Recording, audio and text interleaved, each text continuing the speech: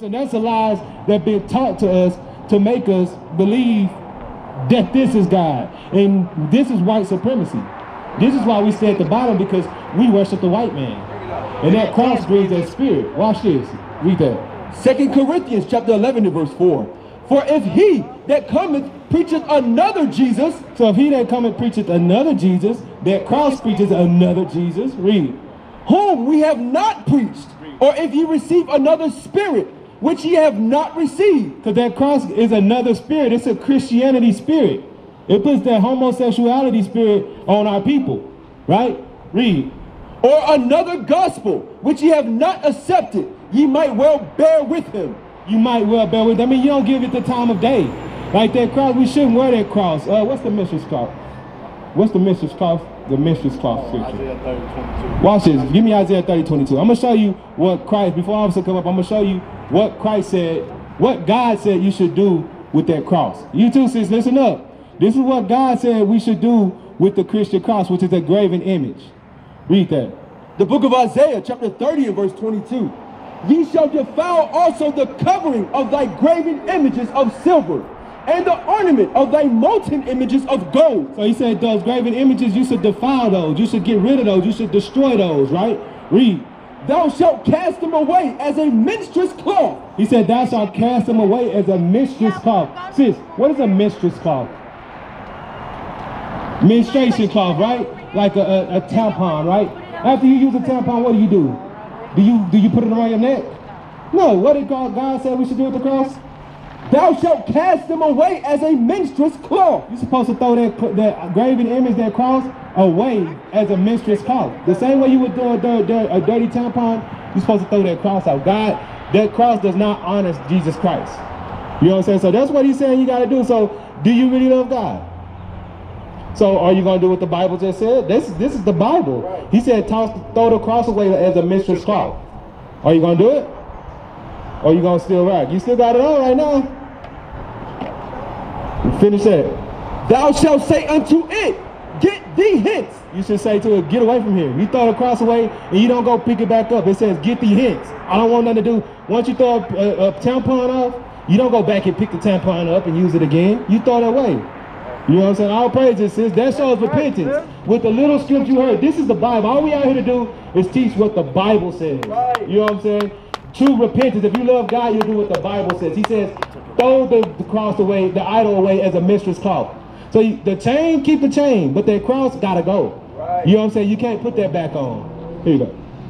All praises. So yes, exactly. That's exactly what you're supposed to do with that because what that cross, what came with that cross was Christianity. Christianity is a religion.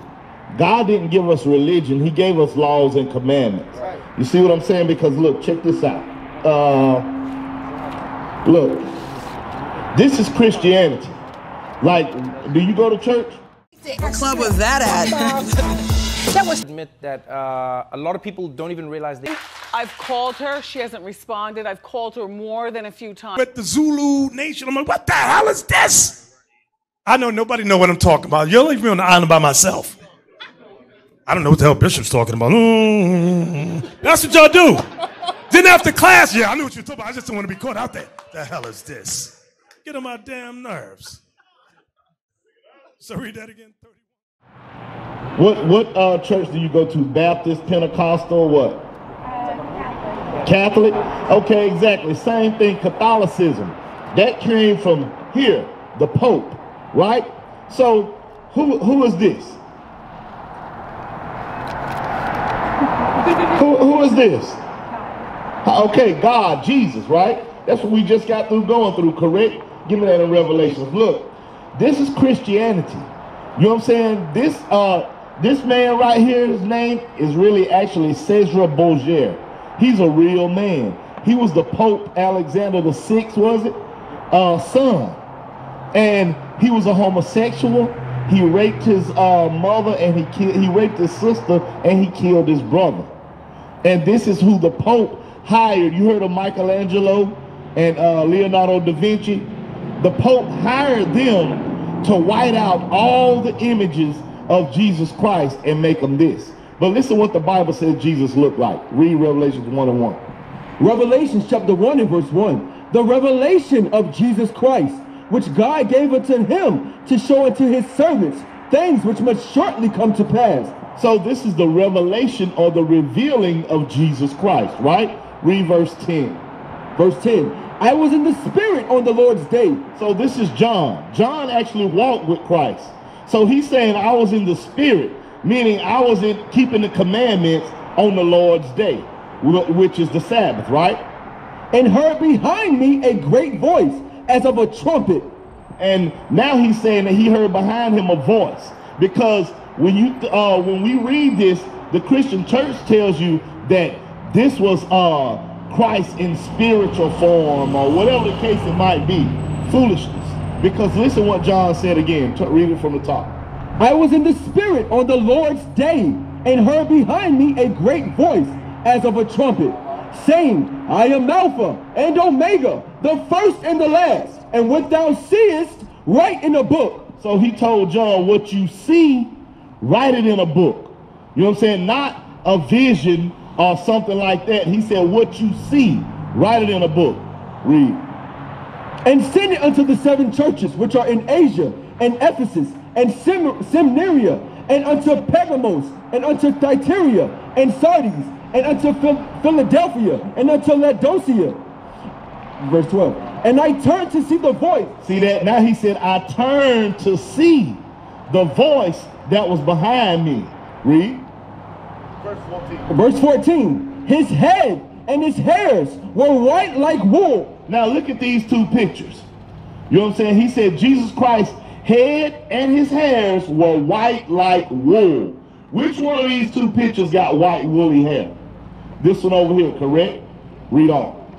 And his eyes were as a flame of fire. Which one of these two pictures got red eyes like fire? Over here, right? Now read. And his feet. Now he looked down at Christ's feet. So if I look down at your feet, I can tell what color you are, correct? So he looked down at Christ's feet. Read. And his feet like unto fine brass. What color is brass? Huh? A golden brown, derivative of brown, correct? So he said his feet were like fine brass. What color uh, were they? As if they burned in a furnace. If you burn anything, what color is it? Black. Black. So which one of these two pictures look more like Jesus? Jesus Christ is a so-called black man. If Jesus Christ was walking the earth right now, he would be what you call an African American. Right. That's what Jesus Christ is, not this. That's why they gave you Catholicism. That's why they gave you Christianity. That's why they gave you that cross around your neck. All of those things symbolize has nothing to do with Christ. How you doing, bro? Well, come back. Come talk to us. Okay. But none of that has nothing to do with Jesus Christ. Nothing. So now, with that being said, if I ask you your nationality, what would you tell me? Nationality means what race of people you descend from. Hispanic, right? Well, Hispanic means property of Spain. You know what I'm saying? Because the so-called Spaniards came to what is now South America and Mexico and conquered the Aztecs, the Mayans, the Incas, correct? And that's who gave you Catholicism. That's how you were. That's how you became Catholic, because they conquered the the natives that were in that land and made them Catholic right. by. Uh, let's get it right quick. Let me see. Here it is. Look, they came down there, and this is how you became Catholic through colonization. The same way the so-called African Americans became Baptist, uh, Mormon, Pentecostal, all of those things. How? Because they bought us over here on slave ships and we didn't have a choice. Look, the Baptist religion or denomination was founded by John Smyth in 1608. Where were our people in 1608? We were in somebody's field picking cotton, right? Where uh Mormon 1830. Where were we in 1830? Slavery. You know what I'm saying? All of these different Seven-day Adventists, uh, uh, Pentecostal, Jehovah's Witness, all of these different denominations We were in slavery when they came about.